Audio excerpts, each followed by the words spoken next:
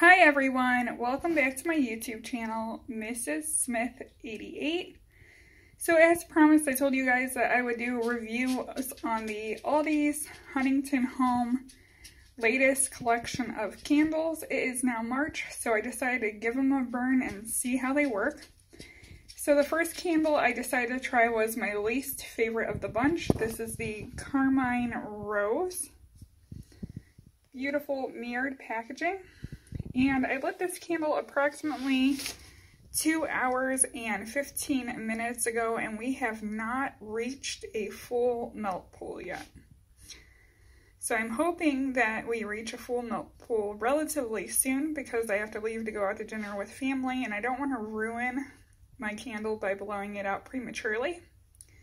As for the scent throw, this is a very true rose scent. It is very one-dimensional.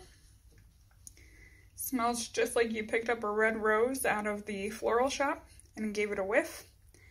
I'm not smelling any other complementary tones, no vanilla in there, no sweetness in there, no other florals, just straight rose. Not too impressed with this one. It does have a decent scent throw.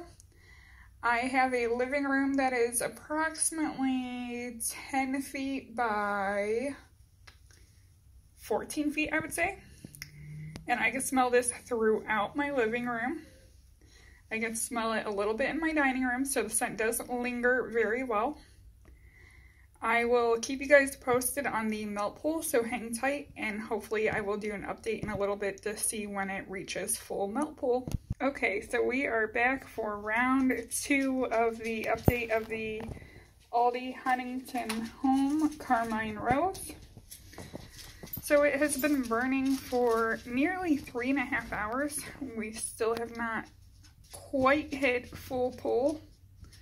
I have to leave in about an hour and 15 minutes. So I'm gonna let this keep uh, burning till I have to leave and it should be a full pull. So you guys will see an update shortly. Okay, so this is the final update on the Huntington Home Carmine Rose Candle. It has been burning for approximately four, four and a half hours. We finally did reach a full pull, I guess you're gonna say. It looks like there's a little bit around the lip that hasn't reached a full pull. Um, this metallic glass does get pretty warm. Like I said, super one-dimensional smell. Kind of smells a little bit like Nair right now would I repurchase this fragrance? No, it's a pass for me. So I hope you guys enjoyed this review of the Aldi Huntington Home Carmine Rose Candle. Stay tuned as I will be reviewing the other two from the collection.